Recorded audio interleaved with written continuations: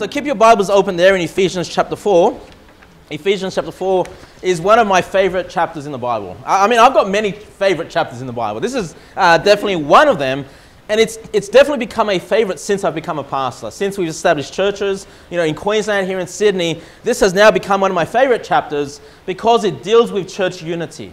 It, it deals with the church being one body, being in peace with one another, loving one another. Okay? And that's why I come to church, brethren. I come to church, yes, to worship God. Yes, I come to church to sing praises to the Lord. But I come to church because I want to spend time with the brethren. I want to spend time in fellowship and get to know you, you know, pray for you. I want to edify you. I want to bless you. I want to lift you up. But at the same time, I'm like you. I'm a, I'm a man. I go through weaknesses. I go through sadness. I get upset. I need you to lift me up. I need you to edify me. And we need to love, edify one another. We need to have peace in the church. And so this is such an important chapter because many churches do not have peace. Many churches have divisions, okay? And you might put up with it for a while. You might say, well, I go to church for the Lord. I don't care about the divisions that are in church.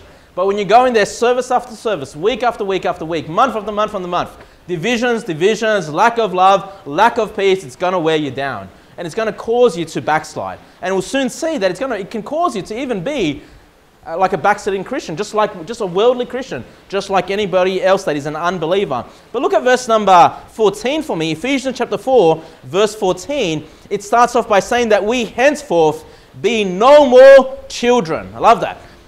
So the title for the sermon tonight is Be No More Children.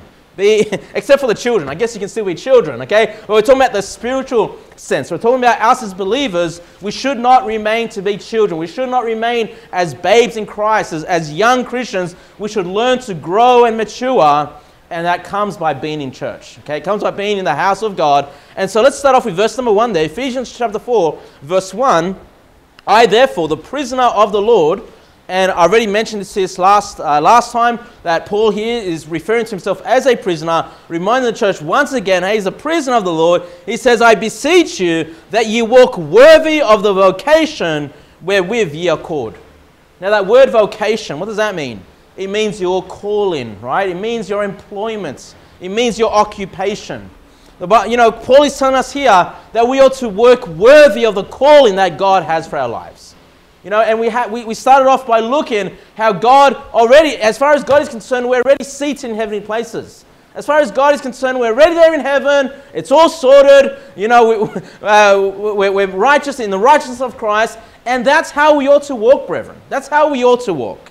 Okay? Now, when it starts off here, they beseech that you work worthy of the vocation uh, uh, wherewith ye are called, He's talking about the brethren. He's talking to the church. He's talking to the Christians. He's not saying in order for you to be saved, you've got to walk worthy of the, of the calling. No. Salvation is the sacrifice of Christ. Salvation is the resurrection of Christ. Your faith upon that. Once you are saved, once you find yourself in a good church and, and settled, or even before you, you know, to find a good church, you need to walk worthy. Okay? God has given us a vocation. God has given us work to do, and He now says, All right, you're saved. Great. Now start doing the works. Start serving each other. Start growing. Okay? Verse number two. With all lowliness and meekness, with long suffering, forbearing one another in love. So, how, how should we behave toward one another here? It said here in lowliness and meekness. You know, we should be humble people. You know, we should learn to be humble, and this is, this is how you know whether someone's a mature Christian or not. Someone that's walking with the Lord, someone that's mature, is usually the one that's the most humble. The one who's able to just lower himself and lift up other people. You know, the Bible says in, uh, in uh, Ephesians, sorry, in, in Philippians 2 3, it says here, let nothing be done through faith faithful vainglory, but in lowliness of mind, let each esteem other better than themselves. Better than themselves. You know what that means? It means all of you God is telling me that all of you are better than me. That's how I ought to behave. You know, and, and for you, everybody in this room, in your mind, should, every, you should say, well, everyone in this room is better than me. Okay? That's humbling yourself. You humble yourself, you lift up other people. You say, oh, but that, that brother over there, he's only been saved for a week. He's only been saved for a month. He's still uh, uh, walking very worldly. He still hasn't grown in the Lord. Yeah, he's still better than you. Okay, that's the instruction that God gives us. That's how you ought to look at the brethren, okay?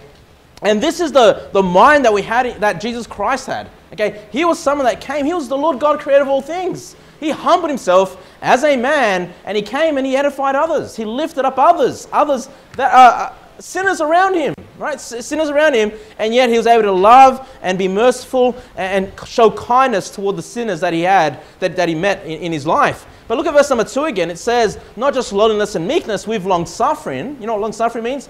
Patience. Okay? Because in church, people are going to start to annoy you. In church, people might do something and you might get frustrated.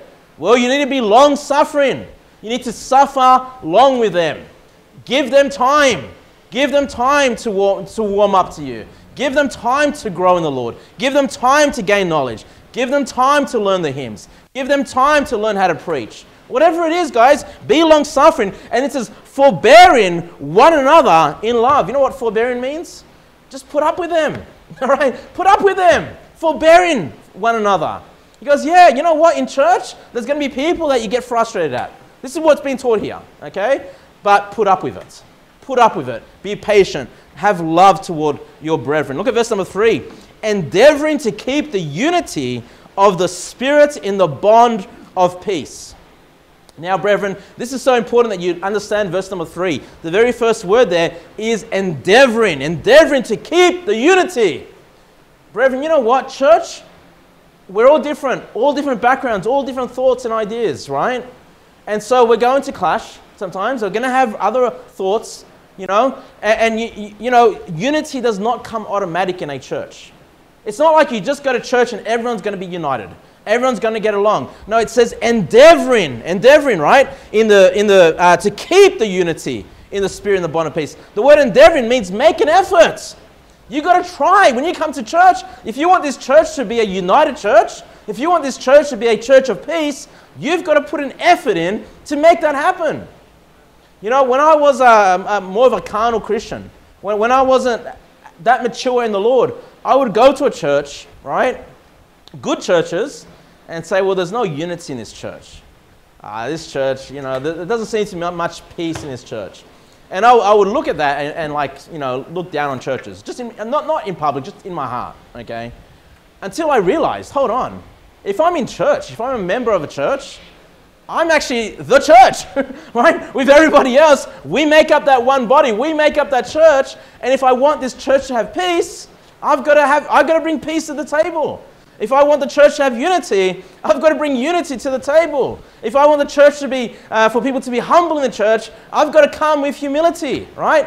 And, and so, church is what you want it to be. You can endeavor, endeavor to make divisions, you can endeavor to make it a place of conflict, or you can endeavor to make it a place of unity, a place of peace, a place of love. But you've got to put the effort in. It's not like you just rock up to church and, and, no, you play a part in the church, okay? And you see this as we go through this chapter. Look at verse number four. Verse number four. Now, from verse number four, the next few verses um, will dictate to us what brings us unity, what brings us together in the house of the Lord, okay? And again, we, you know, if, if, if it wasn't for church, we probably wouldn't even know each other. If it wasn't for church, if it wasn't for Jesus Christ, we probably, like, you'd be a total stranger. I could just be walking down the street, there you'd be. I wouldn't know, you know, you'd just be anybody else to me, right? What brings us together? What brings us unity? You know, is it, is it a sports team? You know, is it the, I don't know, what's a famous sports team? Is it the Western Sydney Wanderers? Is that what brings us together? You know, is it, is it I don't know, what's a rugby league team? Is it the, is it, is it the Bankstown Canterbury Bull, is it Bulldog? I don't know. They're still called Bulldogs, right? Is that what brings us together? Are, are we coming together because we, we support the same teams? You know, uh, uh, what else brings us, you know, what is it that brings us together? We have the same interests. I'm sure if we go through the, through the uh, you know, we saw what our hobbies are, what our interests are, I'm sure we'll all have different interests. What is it that brings us together? Well, it starts off here in verse number four. Verse number four, it says here, there is one body. You know what the church is? The body of Christ one body. When it talks about the body there, it talks, that's a reference to the church. In fact, in Ephesians chapter 1, just a few chapters, if you want to look at it, uh, Ephesians chapter 1, verse 22, have a look at it. Just go back a few chapters. Ephesians chapter 1, verse 22, just as a reminder, it says here, and have put all things under his feet and gave him to be the head over all things to the church, which is his body the fullness of Him that filleth all in all. What is the church? The body, the body of Jesus Christ. What is this church? One body. That, that's what brings us together. We're united in one body of Jesus Christ. And then it says here, and one spirit. Brethren, if you're saved today, if you're a believer on the Lord Jesus Christ, the Holy Spirit indwells you. The same Holy Spirit that indwells me, the same Holy Spirit that gives me the ability to preach to you, to study my Bible, is the same Holy Spirit that is within each one of you. Okay? It's the same Spirit that we all share. That also brings us unity. And so we start off here with the Holy Spirit. And what you'll notice is verse number 4 refers to the Holy Spirit, verse number 5 refers to Jesus Christ, verse number 6 refers to God the Father. Another reference here to the Trinity. But let's keep going. There is one body and one Spirit, even as ye are called in one hope of your calling. We all have the same calling, brethren. We all have the same calling from God. That is to walk like Jesus Christ, to be like Jesus Christ, to learn our Bibles, to grow in knowledge, to win souls, right? To live as if though we're already in heaven. That's the calling that we've seen in the previous chapters that God has left us. This is what brings us together. You know, if you want any business, any church to be united, we must be one in purpose. Okay? And the purpose that we have in this church, one of the main purposes is that we would go out and win souls. They would go out there and win souls. And you know, I don't want anybody in this church that criticizes soul winning. That says, oh, you, what, what's the point of doing that? That's a waste of time. You know, that, you're not going to have any success soul winning. I don't want that person in this church because they're going to bring down those that have a desire, a love to get out there and win souls. Okay? I'm not saying that if you don't go soul winning, there's something like, you know, that you're, you're hurting the church. I'm saying those that are saying, hey, you shouldn't do that. And you know, there are, there are churches, there are pastors, I've heard of my own ears criticize soul winners, criticize people that go door to door preaching the gospel. That church is going to fall apart because they're, they're not united in the, in the task that God has left us to do. Let's keep going. Verse number five. It says here, one Lord. One Lord. You know who that is? That's a reference to Jesus Christ. Again, keep your finger there. Go back to Ephesians 1. Just very quickly, the same book, of course, Ephesians chapter 1. Let's make sure you understand this. Ephesians chapter 1, verse 2. Ephesians chapter 1, verse 2. It says, Grace be to you and peace, look at this, from God our Father and from the Lord Jesus Christ. A distinction, right? A division there. A difference between God the Father and the Lord Jesus Christ. Look at verse number 3.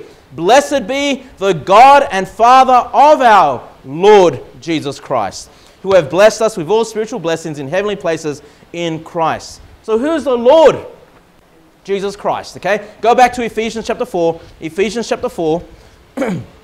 verse number 5. One Lord. So we saw verse number 4, the one Spirit, the one Holy Spirit. Guess what? We also have the one Lord. You know, Jesus Christ is the head of this church.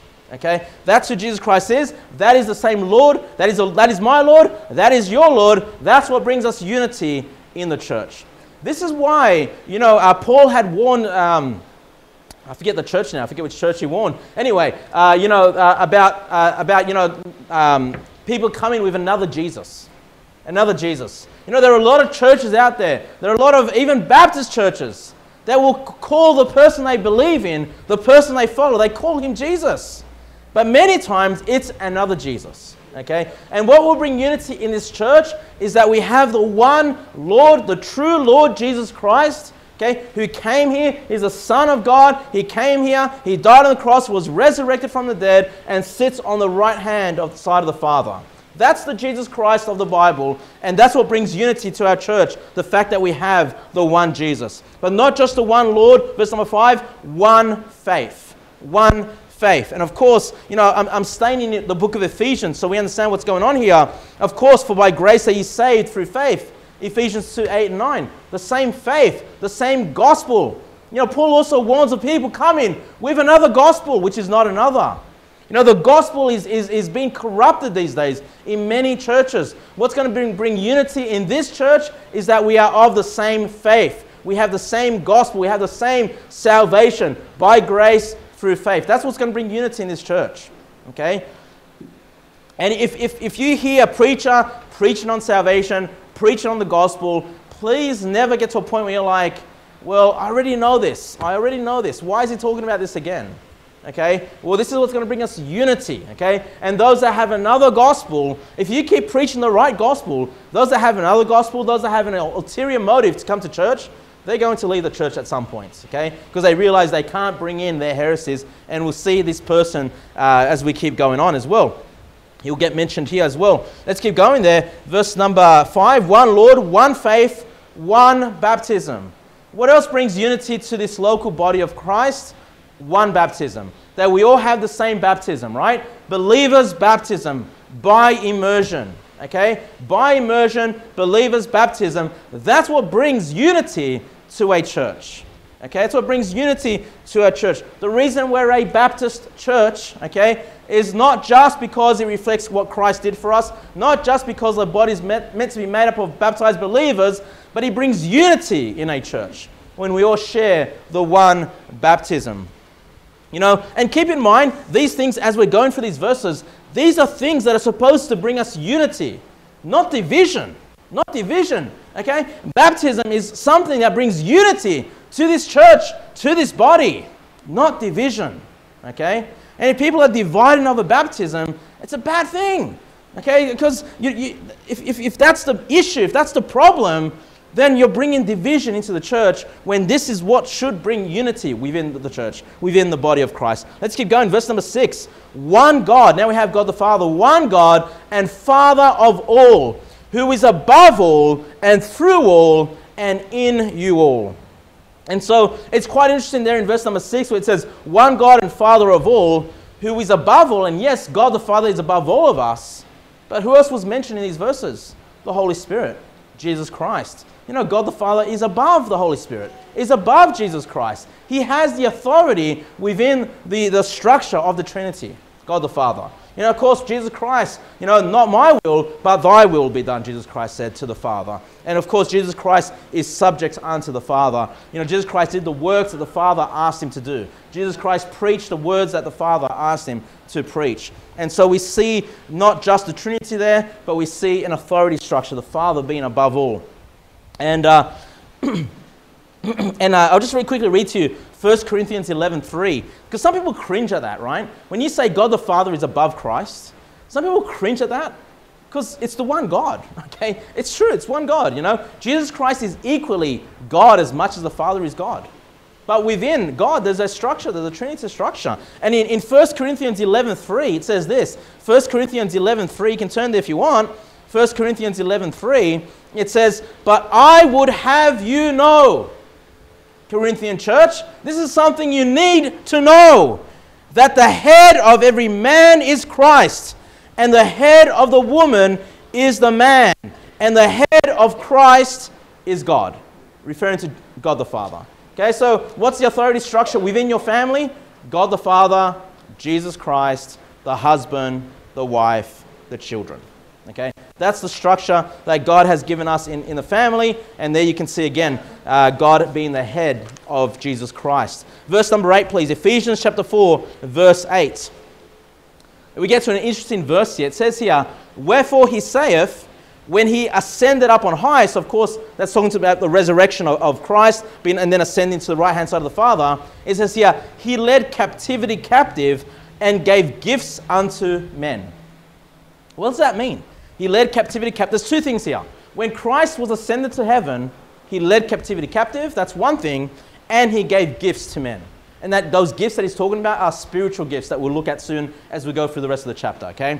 But what does it mean to lead captivity captive? Okay, now look, just for the sake of time, I don't have time to explain this to you, but if, if you want to look this up, just do a word search in your Bible, Bible software, type in captivity captive, the phrase appears three times okay, and look at it. And basically, it means this that, let me use an illustration actually. Uh, Michael Jr., get you up here. Come here. Let's say, uh, let's, let's, put, let's put it this way. All right. Let's say uh, Michael Jr. here is taking me captive, right? He's taken me into captivity, all right? So you've conquered my people, you've conquered my nation. So my hands are behind my back, you've got me arrested, you're leading me away, right? I'm captive. And to take captivity captive is this well, guess what? I'm going to now defeat you. Now you're my captive. I've taken the one that I was under captivity in, I've taken him captive. Okay? He once had power over me, but now I've got power over him. That's what it means. Okay? You can sit down. That's what captivity captive means. And so when Christ ascended up into heaven, if you want to turn to, keep your finger there, go to Hebrews chapter 2 for me. Go to Hebrews chapter 2, verse 14. Hebrews chapter 2, verse 14. Go there. Hebrews chapter 2, verse 14. It's probably interesting for you to see this. Hebrews chapter 2, verse 14. The Bible reads, For as much then as the children are partakers of flesh and blood, he also himself, referring to Jesus, likewise took part of the same. Right? Jesus came in flesh and blood, that through death he might destroy him that had the power of death, that is, the devil. Verse 15, and deliver them who through fear of death were all their lifetime subject to bondage. Brethren, before you were saved, you had, you were, you were Bible saying here, you were subject to bondage. You were taken captive, okay? Captive by the power of sin, captive by the power of death, captive by the devil, as it were, okay? And of course, when Christ came and died, he delivered us from that power. Jesus Christ says in John 8:44, speaking to the um, unsaved Jews or to reprobate Jews actually, in John 8:44, he says, "Ye are of your father the devil, and the lust of your father ye will do. He was a murderer from the beginning, and abode not in the truth, because there is no truth in him." He said that the devil wants nothing more than to destroy mankind, to destroy uh, you know, the, the people that God has created. Jesus says he was a murderer from the beginning. The reason why he came and tempted Eve, the reason why he did that to cause mankind to sin, is that he would murder mankind. And of course, he does that by them dying in the sins and going to hell. We were once under that power, we were once under that bondage but Jesus Christ has redeemed us from that bondage. I'll just read to you from Revelation 20, verse 6. It says here, Blessed and holy is he, this is referring to believers, blessed and holy is he that have part in the first resurrection. Brethren, if you're a believer, you're going to go through the resurrection. You're going to be raptured. You're going to be given a new resurrected body. And the Bible says you're blessed. And then it says this On such the second death hath no power but they shall be priests of God and of Christ and shall reign with him a thousand years. We don't have to have the fear of death, brethren. Once you're saved, yes, you're going to die physically at some point, you know, but you're never going to die spiritually. You're never going to the second death. Okay, that is that's never going to be your destination. Now that you're saved, that power of it, that power of sin, that power of death, you no longer had. It once had you in bondage, but now Jesus turned it around. Now you have power over those things. Now you don't have to fear those things. Okay? And you say, well, do I really have power of sin, uh, Pastor Kevin? Because I still sin today. Yeah, you, actually, God has given you power over sin. And we'll cover that as we keep going through this chapter. Look at verse number 9. Ephesians chapter 4, sorry. Ephesians chapter 4, verse 9. If I tell you to turn somewhere else, just make sure you keep your finger always in Ephesians chapter 4. Okay? Verse number 9 says this now, that he ascended, referring to Jesus Christ, he ascended up to heaven. But, uh, but is it, sorry, what is it but that he also descended first into the lower parts of the earth? say, what's that about? Jesus Christ descended to the lower parts of the earth? Well, we know that he died on the cross. We know that he was buried in a tomb. But did he? What's this about descending to the lower parts of the earth? Okay. Verse number 10 He that descended is the same also that ascended up far above all heavens that he might fill all things. Okay? Now, I don't have a lot of time to go through this, but just very, very quickly. Okay? And again, this is something that a lot of people cringe at. A lot of people cringe at this teaching. Okay? But actually, go to Acts chapter 2. Go to Acts chapter 2. Okay? Because I'd rather you just see it rather than just hear me preach it. Okay? Go and look at it. Acts chapter 2, verse 30. When Jesus Christ died, his body was buried in a grave. For sure. That's what the Bible emphasizes, right? The death, burial, and resurrection. That's the gospel. Okay? That's what the Bible emphasizes. And the Bible does emphasize the physical death. It does emphasize the physical burial and emphasizes the physical resurrection of God, the bodily resurrection of Jesus Christ. Okay? That is emphasized. But when that took place physically, there was also some type of spiritual transaction taking place as well. And I don't have all the answers to that, brethren. I don't, I don't, have, my, I don't have a full knowledge of that, okay? But let me just show you what the Bible says here. Acts chapter 2, verse 30. Acts chapter 2, verse 30.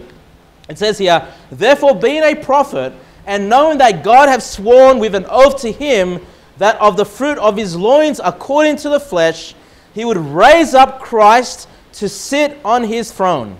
Verse number 31. He, seeing this, before spake of the resurrection of Christ. Look at this that his soul was not left in hell, neither his flesh did see corruption. What do we see here? That the soul of Jesus Christ would not be left in hell. Where is hell? The lower parts of the earth. Where did Jesus go when he died? His soul went to hell. Okay? His soul went to hell. That's what it's saying there, right? And, and that he would not be left. But not only that, it was his soul not left in hell, he says, neither his flesh did see uh, corruption. Why? Because Jesus Christ rose from the dead. Rose from the dead bodily, okay? His, his flesh was not corrupted, did not rot away. He was resurrected in a new resurrected body, okay? And then it says here, verse number 32, This Jesus have God raised up, whereof we are all, sorry, whereof we all are witnesses. We all are witnesses. They all saw a physical resurrection of Jesus Christ. They all saw him that uh, wrote this here in, in Acts chapter 2. And uh, so that's a truth that you just can't run away from. Jesus Christ's soul went to hell. Now, I don't fully understand that, brethren. I just tell you the truth. But one thing I see, I see that's what the Bible says, and that's what took place. Okay? But that's not all. And a lot of people stop there. That's not all. Okay? Now go to the book of Luke. Go to Luke 23. Go to Luke 23. Luke 23, please. We're going to the crucifixion of Jesus Christ. We're going to the crucifixion here of Jesus Christ in Luke 23, verse 43. And we have the beautiful story about the thief on the cross that believes on Jesus Christ. He puts his faith on Christ, right? In Luke 23, verse 43, Luke 23, verse 43, this is what Jesus says to that thief. He says, And Jesus said unto him, Verily I say unto thee, today shalt thou be with me in paradise. Few things. Today, with me, where? Paradise. Say, where's paradise? That doesn't sound like hell. Yeah, it's not hell. Okay, let's keep going. Verse number uh, 44. And it was about the sixth hour, and there was a darkness over all the earth until the ninth hour, and the sun was darkened, and the veil of the temple was rent in the midst. Look at verse number 46, so important. And when Jesus had cried with a loud voice, he said, Father, into thy hands I commend my what? My spirit. And having said thus, he gave up the ghost. So he says to God the Father as he's about to die, Father, I'm going to commend unto you my spirit. And he gives up the ghost. Okay? The, his, where, where's God the Father? In heaven. In heaven. Okay? And I don't have time to show you this, brethren. I do have time to show. I'll read it to you very quick. Um, I'll read it to you very quickly. 2 Corinthians 12 2. It says, I knew a man in Christ about 14 years ago, whether in the body I cannot tell, or whether out of the body I cannot tell. God knoweth. Pay attention now. Such and one caught up to the third heaven. The third heaven. That's where the throne of God is. That's where heaven is. The third heaven is the heaven that we're all looking forward to go to one day. And then verse number 4 says this How that he was caught up into paradise and heard unspeakable words which is not lawful for a man to utter. The Bible in 2 Corinthians chapter 12 tells us a couple of things. There's a third heaven, that's where God's throne is, and that third heaven is paradise. That's where it is. So when Christ was on the cross, he said, Today, today, when he died, thou shalt be with me, where? In paradise. Where was Jesus then? Uh, when he died? In paradise. He was in heaven. You say, Brother Kevin, you just said his soul was in hell. Yeah, his soul was in hell, the Bible says. His spirit, his ghost, was in heaven. His physical body was in the grave. You say, that doesn't make any sense to me. Well, join the club, brethren. you know what? I'm just showing you what the Bible says. Okay? That's what the Bible says. That's what happened. Okay? And of course, we know the Bible tells, makes it very clear that man is made up of body, soul, and spirit. Okay? And Jesus Christ is God Almighty. I mean, I guess he can do that, right? He can, be, he can do that. And if you go back to Ephesians chapter 8, please. Sorry, Ephesians chapter 4. What am I saying? Ephesians chapter 4, verse 10. Look how he ends again. verse number 10 He that descended is the same also that ascended up far above all heavens, that he might fill all things. You know what? Jesus Christ can fill all things. He can fill hell, he can fill heaven, he can fill the earth all at once. Because he's God, all right? He's God. And so we see that play out in the Bible, in the grave, in hell, in heaven. Now, you, you, you want me to ex- expound on that? It's very difficult to be dogmatic. There's a lot of opinions, there's a lot of thoughts, there's a lot of passages that seem to convey certain things, but it's difficult, okay? I don't, I don't mind if you have your opinions, it doesn't really matter. The gospel is the death, burial, and resurrection of Jesus Christ. As long as you believe that truth, you believe the right gospel, okay? Ephesians chapter 4, verse number 11. Ephesians chapter 4, verse 11. And actually, if you, if you look at verse, how verse number 8 ends, we talk about uh, captivity captive, but then it says, and gave gifts to men. I'm talking about spiritual gifts, okay? Now notice verse 9 and 10 uh, in um, brackets, okay, are in brackets. So it's a, it's, a, it's a thought, but really verse number 11 in a way continues what verse number 8 left off with, okay? What are these gifts that God has given uh, to the local church? The gifts are here in verse number 11. And he gave some apostles, and some prophets, and some evangelists, and some pastors and teachers. Okay? So, a church can have all these things. A church can have apostles, prophets, evangelists, pastors, etc. Okay? And some people get really stuck on, these on this verse. It's really not that difficult. Okay? And you say, well, why is it that we don't have apostles today? Why aren't you Apostle Kevin instead of Pastor Kevin? Okay?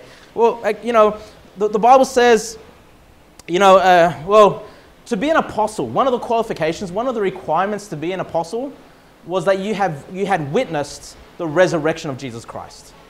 Okay? So anybody going around today calling themselves an apostle, listen, they're not 2,000 years old. They weren't there when Christ was resurrected from the dead. Anyone going around calling themselves apostles are not true. They're not true people. Don't go and listen to them, okay? They're giving themselves a title which nobody today in 2019 can possibly have. That was one of the requirements, okay? And I'll quickly read to you from 1 Corinthians 15, verse 8. Paul speaking about himself, he says, And last of all, he was seen of me also, as of one born out of due time. Why was Paul an apostle? Because Jesus Christ revealed himself to Paul physically. Remember when Paul saw Jesus Christ and he was blinded by that? Okay, well, he says, Look, I'm like one born out of due time. You know, the other apostles saw him, you know, right after resurrection. I got to see him, you know, several, several, whatever it was, you know, months later on or whatever it was, you know. And so he, he refers to himself as one being born out of due time, but he can be rightly called an apostle because he saw the resurrected Christ. Okay? Now, that's why we don't have apostles today, okay? And then it says, what about prophets? What prophets? Isn't, isn't a prophet someone that can tell the future? You know, Pastor Kevin, why don't you have people coming up here and telling us what the future holds? Well, you know what? Every time someone preaches about the future, I've already preached about the resurrection. Guess what? I preach about the future, right? You know, you know, actually, the word prophet or prophesy just means to proclaim God's word. That's all it means, right? So anyone that gets behind this pulpit, anyone that preaches, anyone pro- that proclaims this word, is prophesying. That's all it is. And yet, the Old Testament prophets, they told many times about the future because the people did not have a completed Bible in their hands. You know, if I just sat there and just read the book of Revelation to you for church, hey, I'm telling you all about the future. And guess what? It's going to be 100% accurate, right? I don't have to put my opinions in there. It's all there based in the Word of God. Anyone that, that preaches is a prophet. And then it says, and some evangelists. You know, there are some people, and we, we don't have this ability in our church today, but one day, who knows if our church grows and we have the finances, one day we might employ someone in the church to be our evangelist. What does it mean to be an evangelist? Someone that evangelizes. It tells telling the good news. Okay? You're going out there, full-time job. Your job, you know, so we give it to someone one day maybe. Hey, your job is to basically get out there and preach the gospel. Monday to Friday. That's your job. And the church will pay for you to do that job.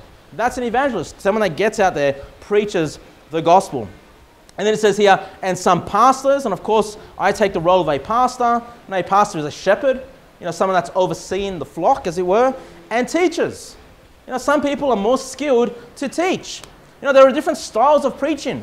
There's your preaching style, that someone just opens up the Word of God and preaches the truth. And then there's other styles that, you know, it's just teaching. You know, you take a doctrine, you break down the doctrine, doctrine, you explain to people how these things come together. That's teaching, you know. And a pastor ought to be able to do all these things.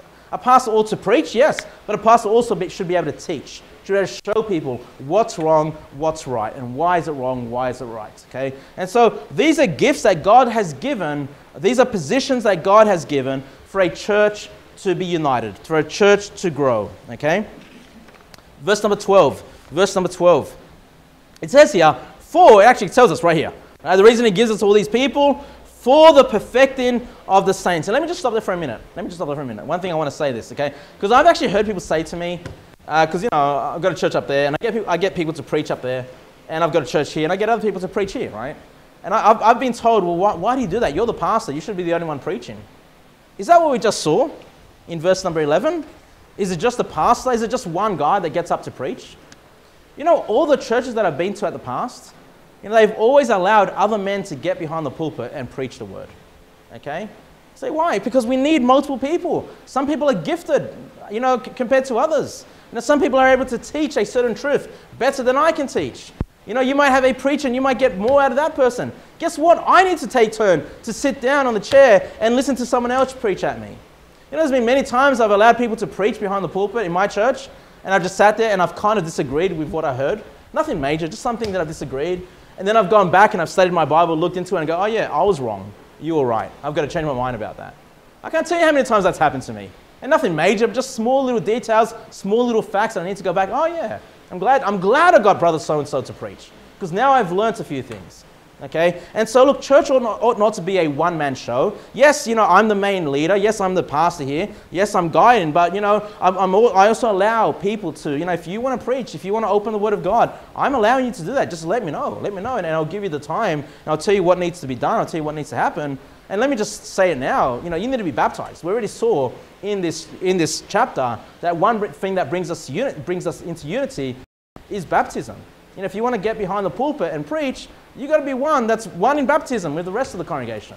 You know, that's not something that should be uh, contentious. That should just be something that you joyfully accept. Yeah, I want to be united with this church. I want to make sure that I'm baptized. Ephesians chapter 4, verse 12. For the perfecting of the saints, you know, the word perfecting there means to complete, you know, to help us mature, to help us grow. That's why we have all these. It says here for the perfecting of the saints and the work of the ministry for the edifying of the body of Christ. That's the purpose behind it. That's the purpose we have different preachers. We have people get up here and open the Word of God. Is to edify, to lift each other up, right? The body of Christ. And sometimes, yeah, you have to get behind the pulpit and tear down some false teacher, tear down some false doctrine. Yeah, sometimes I might have to expose your sins, but I don't do it to destroy you. I do it because I love you, right? I do it because I want you to be edified. I do it because I want you to wake up and go, well, I'm, I'm living worldly well. I, am I'm living uh, not how God wants me to live. I better change this about myself. That's not to destroy you, brethren. If you ever get offended by something I say, it's not to hurt you. Okay, I'm not sure. I, I, I want you in church. I want you growing. It's the purpose behind it is to edify, okay, to edify you, to help you grow in the Lord. Verse number 13, till we all come in the unity of the faith and of the knowledge, look at this, of the Son of God, unto a perfect man, unto the measure of the stature of the fullness of Christ. I'm not sure if that's gone over your head, brethren, but the reason church is so important, okay, it said there, um, and of the knowledge of the Son of God, okay? You come to church so you can learn about Jesus Christ. You can t- learn who Jesus Christ is. Who is Jesus Christ? He's the Son of God. What did he come to do? How did he, how did he behave? You know, the whole Bible centers on Jesus Christ. We can learn about Jesus Christ. Any chapter of the Bible will point us to Jesus Christ in some way, shape, or form. Okay? But it's not just knowing about Jesus Christ, but once you know about, once you have the knowledge of the Son of God, it says, unto a perfect man, okay, unto the measure of the stature of the fullness of Christ. Once you know who Jesus Christ is, once you know what he's like, well, now the next step is for you to be like Jesus Christ. To measure yourself up next to Jesus Christ. It's not to measure yourself up next to the pastor. Oh man, Pastor Kevin's at this level, and I've got to make sure I get to that level. No, that's a low level, okay? That's a low level. Don't, don't put me as your standard. Don't put me as your stature that you're measuring up to. No. You know, or some other brother, oh, I feel good about myself because I'm better than brother so and so. You know, I'm better than sister so and so. Oh, you know, sister so and so, she's not in church this week. At least I'm in church this week.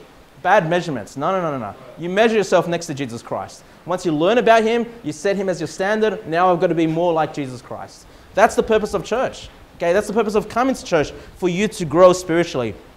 And when you don't come to church, naturally you're not going to grow. When you don't come to church, naturally you're going to fall away. You're not going to uh, see Jesus Christ in your own life. Verse number 14. And this is so important. This is the title of the sermon here. It says that we henceforth be no more children. Is there a time to be a child? Yes. But you know, every child grows. I'm talking every physical child grows. They're not going to be children forever. You know, we look at little babies, we look at little children, say, oh, how cute, how cute. You know, 20 or 30 years later, you're not going to be saying that about them anymore. Okay? They're going to be a full blown adult. All right? And, and, and the expectation is that just as much as you can't stop a child from growing, the expectation is as a, as a believer, as, as a believer of Christ, you ought to grow. Okay? But here's the thing about being a spiritual uh, be, uh, a believer is you can stay as a, as, a, as a child. If you wanted to, you can stay ignorant. You can stay as a child with lack of knowledge and, and a lack of growth. You could do that in the spiritual life. But that's not what God wants for us, right? that we henceforth be no more children. Because what's the danger of being a child? What's the danger of being a, a babe in Christ? He says here, tossed to and fro and carried about with every wind of doctrine by the sleight of men and cunning craftiness, whereby they lie in wait to deceive. What's the problem of staying as a spiritual child? Is that you're going to be tossed to and fro. You're not going to know what to believe. One preacher is going to come up and preach something, you're going to believe that. Next preacher gets up, preaches the total opposite, you're going to believe that. You're not going to know what you believe. You're not established in the Word of God. You're being convinced by the arguments of men. Now, it's good to make solid arguments, you know, make solid uh, thoughts, give solid thoughts, but you know what? It ought to be grounded in God's Word. That's what's going to keep you stable. And not only that, it says by the sleight of men. Have you ever heard of the term the sleight of hand? A lot of magicians use sleight of hand, right? that, you know, I don't, I don't know, uh, you know, let, us say a magician, you know, hides that cup, like somehow makes it hide from this hand, and then all of a sudden it appears in that hand. You know how they, they did it somehow, right? And they did it by sleight of hand. They had you distracted. You know, maybe they were juggling over here or something. They had, they had your eyes distracted over there while somehow they got that cup over there. And now you've been, oh, now it's on this hand, right? You've been deceived, all right, because of the sleight of hand. Well, the same thing happens with doctrine. The same thing can happen in a church is that there are men with, uh, that come with, uh, with a sleight of hand, as it were, right? Coming with false teaching, coming with false doctrine, and you're not going to be able to tell the difference between what is right and wrong. It says cunning craftiness, cunning craftiness. They know how to deceive you, all right? It says here, whereby, this thing blows my mind about these false prophets. It says, whereby they lie in wait to deceive. You know what this means? The false prophet comes to a church and will sit there, just lying in wait, just waiting, waiting, waiting, waiting, to the point where you're just like, well, that's a brother in Christ. Waiting, waiting, waiting for his chance, waiting for his chance. And then when his chance comes, he goes in he goes in and brings his false teaching or whatever it is. Okay? He brings in the division in the church. You know, whatever it is, he comes and that's what they do. They just wait to deceive. That's what gives them joy. that's what gives them purpose to deceive God's people. And this is why we can't be children forever, brethren. We need to learn to grow and to mature and, and know we, what we believe because we've seen it in the Word of God. We've been convinced by the Word of God. And you're going to get that in church. You avoid church, you just listen to your, your preachers online. Man, there's a lot of p- crazy people online as well. You're gonna you're gonna start believing everything that you hear, you know? You ought to come to church, find a good church, come to church and learn from God's word. Verse number 15. But speaking, so this is, the, this is what we should do instead of being like these false teachers, but speaking the truth in love may grow up into him all things, which is the head, even Christ. So when we preach the truth, we ought to preach with love, okay? With love. And you say, oh, see, brother, Pastor Kevin, sometimes you lift your voice, sometimes you get angry, right? You're a bit stern sometimes. That's not loving. Yeah, that is loving. All right, that is loving. Because sometimes you need to wake up. Sometimes you need to realize, man, uh, am I really that sinful? Man, is that real? Does God really hate that? And sometimes you just need the hard preaching. You just need someone to, to show you the Bible and just, just show you your sin. You do it because of love, brethren. I get here, I come down here uh, uh to Sydney because of love, right? I, I love you. I love this, this brethren. You know, I love this church, right? I, I love you guys. I, I do. I, otherwise, I, I, just wouldn't do it. Honestly. Just, uh, and so, people that come out to preach, make sure these people are people that actually love the brethren. They're not just people that are trying to make a name for themselves, trying to look good in front of other people. No. You know, the person that stands behind the pulpit preaching God's word ought to be someone that can speak the truth in love. Okay?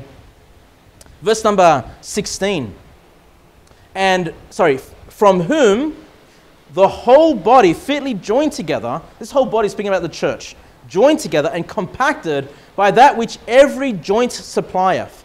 You know, every joint of your physical body is important, right? Every joint that puts your bones together, that puts your ligaments together, your muscles, every part of the body is important.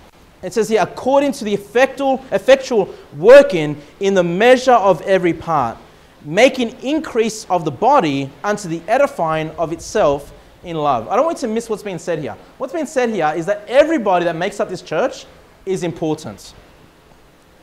If you're missing a part of your body, I don't care what part of your body it is, you're, go- you're going to be less effective. Okay? If you cut off a finger, you'll still be able to function. Okay? You're going to be in a lot of pain once you lo- lose that finger. But you're not going to be able to do as much if you had all your fingers in place, right? or if you break your ankle, you break your leg, you can still get, you can still, you can probably still drive a car. But it's going to really limit how much, how mobile you're going to be, right? It's going to be a strain on the whole body. You know, when there's a part of your body that's broken, the rest of the body is working extra hard to, you know, alleviate, you know, or trying to, you know, accommodate for that, for that, that hurt part of your body. And so everybody in this church is important. I don't care how long you've been saved. If you've been saved a day, you're important If you've been saved for 10, 20, 30 years, you're important. If you're a man, you're important. If you're a woman, you're important. If you're a child, you're important. Everybody is important. And when someone in this church is hurting, it hurts the church as well. It hurts the body. Okay? It's important to understand this because look at, look at, look at verse number 16. Look at the end of verse 16. It says, maketh increase of the body. Do we want this body to increase? We're talking about our spiritual growth. But it's not just spiritual growth. If this body is increasing, guess what's happening? People are going to be added to this church. Do we want people to be added to this church? Do we want this body to grow? Then what do we need to do? It said there, um, increase of the body unto the edifying of itself in love. And I've already said this before, guys, but if we want this church body to grow, we want people to come and visit and join our church, we have to be a church of love. Okay? People will join our church for any reason. It's close. I agree with the doctrines. You know, oh, the saved brethren or the King James only, whatever. People can come up with whatever reason they might have to join a church. But what's going to keep them here is if they can see a love within the body. If they can know this church loves me, I can learn to love this church. And so please, when we have visitors, go out of your way a little bit, okay? Go out of your way and welcome them. Go out of your way and tell them they're welcome to church, you know? And think about maybe there are brethren here in this church that, you know, you've not spoken to for days or you're not spoken to for about for weeks. Maybe there's someone in this church you don't even know their name. I hope not, because we're a small church, right? Maybe you don't even know name. You know what you need to do? You need to go and love that person. You need to go and, and, and talk to that person. Welcome them. Go and say hello. Go and say bye. You say, I, I know nothing about brother so-and-so. Well, go up to brother so-and-so and ask him how they're doing. You know, learn about their life. Ask them what they do for work.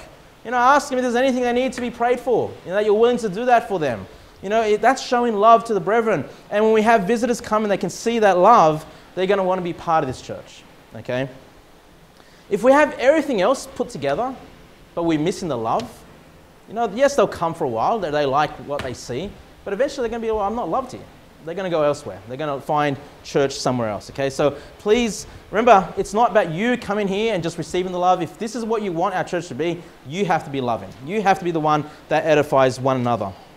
Verse number 17 This I say, therefore, and testify in the Lord, that ye henceforth walk not as other Gentiles walk in the vanity of their mind. So here it is, guys. This, this, this chapter is about our walk. It's not about our position. Our position before God is perfect.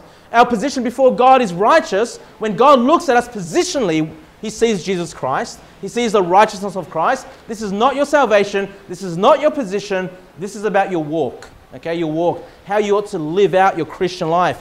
And the instruction here is don't walk as other Gentiles walk. Don't walk as the unbelievers, basically, what it says. Now, how do they walk? In the vanity of their mind. Look, look what the Bible describes non believers as. Okay? Vanity of their mind. Having the understanding darkened, being alienated from the life of God through the ignorance that is in them, because of the blindness of their hearts, who being past feeling have given themselves over to lasciviousness to work all uncleanness with greediness. This is how God describes the non believer. This is what you were before you got saved. Okay? What did it say here? Vanity of their mind. The non believer thinks of worthless things. Okay? It says here, ignor- the ignorance that is in them. They're ignorant, they, they lack knowledge. It says blindness in hearts. It says past feeling. Okay, that they lack the proper emotional response to things. That they're, they're past feeling. Given to lasciviousness. That means they're full of lust. You know, that they're given to the lust of the flesh. Unclean and greedy. These are all words that God gives about the non believer. This is what you were before you got saved. Okay? And the instruction here is don't walk like these other Gentiles. Meaning, you can walk like those other Gentiles, right? If you're not being faithful, if you're not in church, you're not growing, you're going to walk godly or you're going to walk worldly. Okay? You either walk in the light that God gives you or you're going to be walking like this sinful world, like the non believer. And you too can fall into this kind of description. You too can be someone that just thinks about worthless things. Okay? About the vanity of this world. And the instruction is don't walk like these other Gentiles. Don't walk like the unbelievers. Verse number 20. But ye have not so learned Christ. What this is saying is that if you walk in that way of the, of the unbeliever, it means you've not learned Christ. Okay? You don't know what Christ is like. You don't know how you ought to measure yourself up to Christ. You don't know how well you're following after Christ if you're living worldly, if you're living in your sins. Verse number 21. If so be that ye have heard him and have been taught by him, as the truth is in Jesus, now, this is, this, is the, this, is the, this is what you do. This is, this is the instruction of how to walk properly. Once you've been taught by Jesus, once you've heard of Jesus, once you've found the truth in Jesus, verse number 22, that ye put off concerning the former conversation, your former lifestyle, your former behavior. The Bible says, put that off. You've got to make a decision and say, well, this is how I used to live my life. I used to live for myself. I lived for the world. I lived for my own pleasures. I lived for my sins. Now I've got to take that and put that away. It says, you know, that's the instruction that's being said here. Putting off the former conversation, the old man. And you guys know that I love to preach about the old man and the new man. Okay? Now, does it say here that you don't have the old man? Does it say when you got saved, the old man no longer exists? No, the old man is still there. Okay? And this is why you've got to take that old man that old Kevin, that old sinful flesh, and say, I don't want to walk your way anymore. Go over there. I don't want you today. All right, you put him away, the old man, which is corrupt according to the deceitful lusts. Verse 23 and be renewed in the spirit of your mind. That's the clue, guys. That's, that's what you do. You want to put that away? You don't want to work, work, uh, walk worldly? You've got to renew the spirit of your mind. You've got to start changing the things that are up here. Okay? Instead of filling your minds with television, instead of filling your minds with Hollywood, okay, filling your minds with, with the world's entertainment, the world's music, and you know the world's system, instead of filling your minds with all that, you've got to change what you fill your mind with. You've got to renew your mind. That's where it is. Verse number 24. And that you put on the new man, uh, which after God is created in righteousness and true holiness. The only way you can walk righteously, the only way you can walk by, uh, in holiness is by putting on that new man. You get rid of that old man. How do you do it? You renew your mind. You start thinking of godly things. You start reading your Bible. You start praying. You start coming to church. You start listening to godly music. You start opening up your hymn book. You all got a, a hymn book to take home. Go and sing it at home. Fill your minds with godly things. Go soul winning.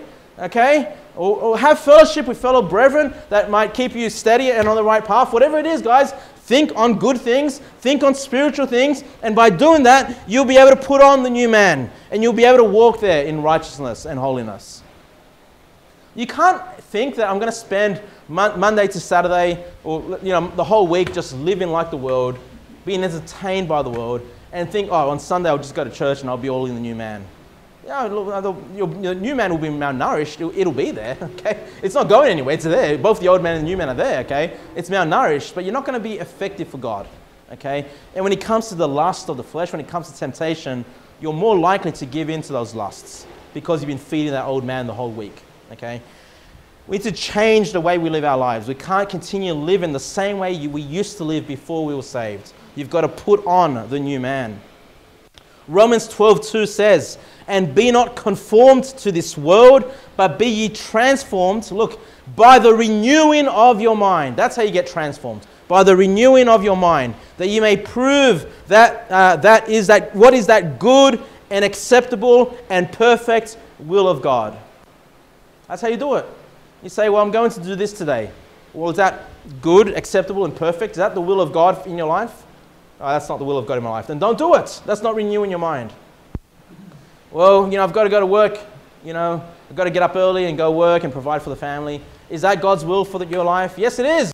Fathers, it is God's will for you to go to work, provide for your family, do all those things. Guess what? That's God's will for your life.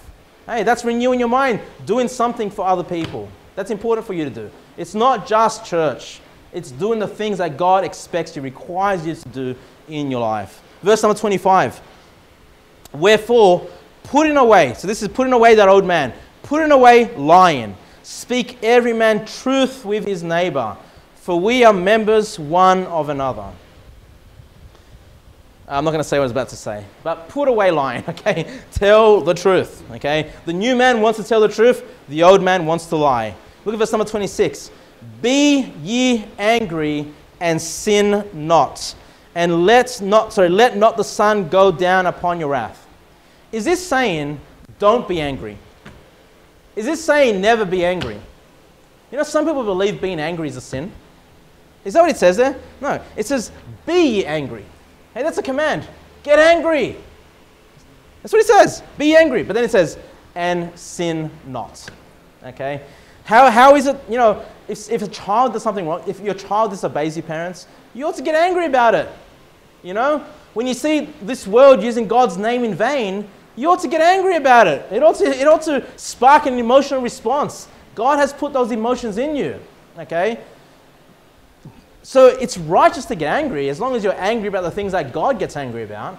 But don't get angry to the point where you're so angry, where, you, where it says here, let not the sun go down upon your wrath, where if you're having a fight with somebody and you don't go and sort it out, or you're still harboring those thoughts, you're still harboring that anger, you wake up the next morning, you're still angry about it, or now you're sinning.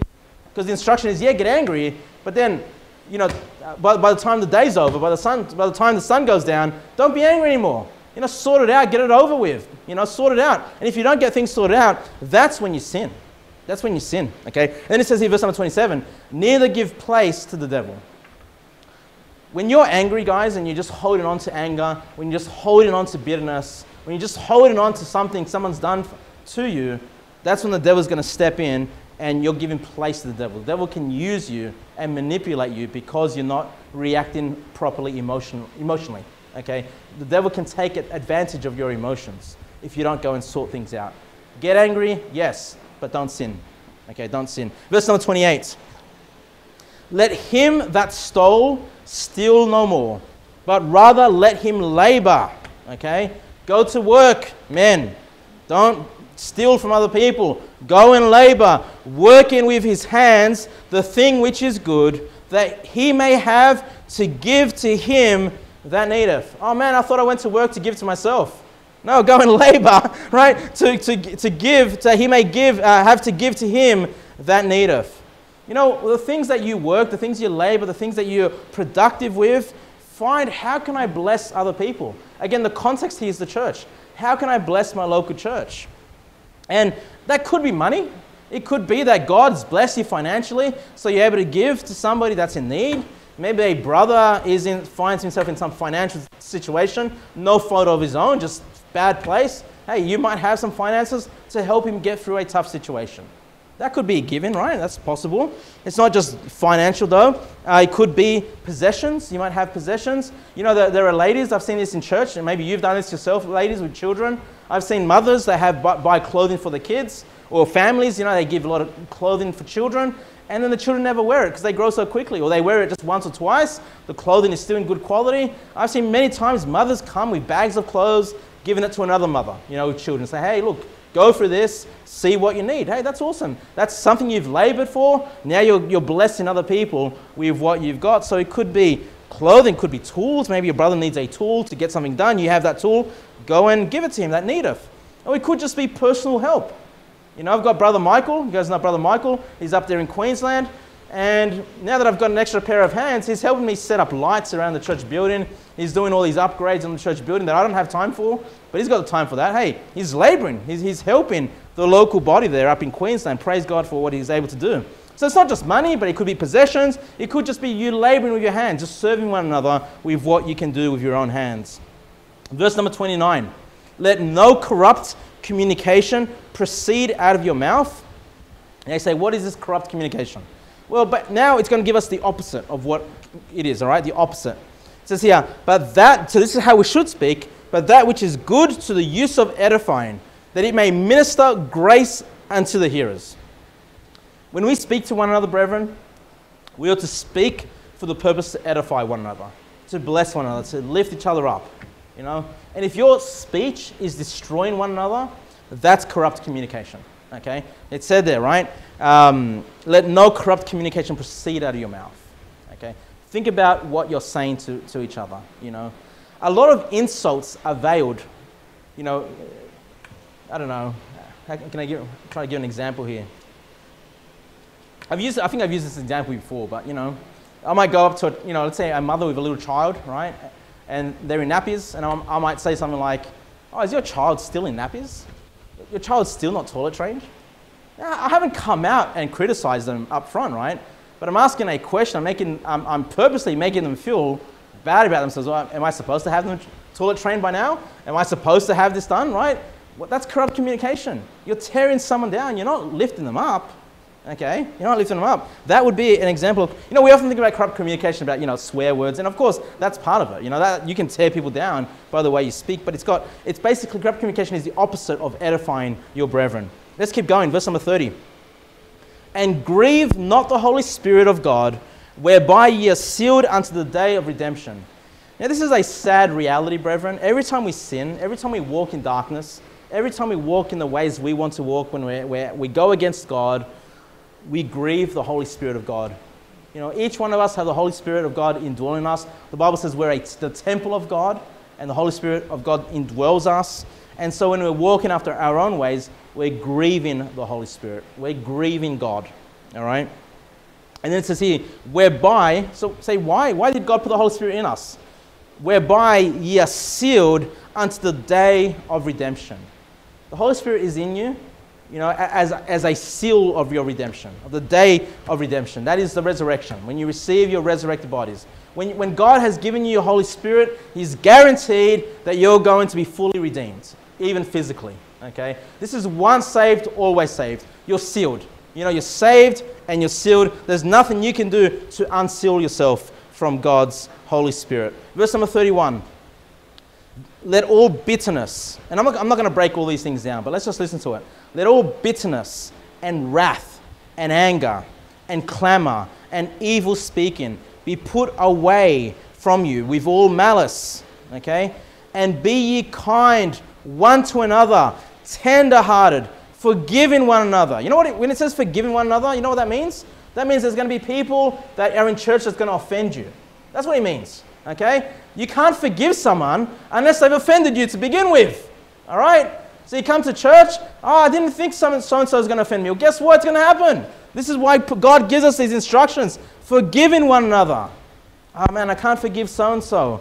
Forgiving one another, even as God, for Christ's sake, have forgiven you. You know how you're meant to treat the brethren in this church? The same way you would expect Jesus Christ to treat you if you're in his presence. If you were meeting Jesus Christ face to face, whatever your, your thoughts are as to how he would treat you, man, I, I think of Christ, I'm sure he'll be welcoming. I'm sure he would embrace me. I'm sure he would say, Thou good and faithful servant. I'm sure he would say, when I stuff up, you know, when I make mistakes, well, the spirit is willing, but the flesh is weak. All right? I'm, I'm sure the Lord's going to say, Hey, when you're weak, call on me and I'll give you strength. You know? Is that how you behave to your fellow brethren in church? Well, that's how you ought to behave.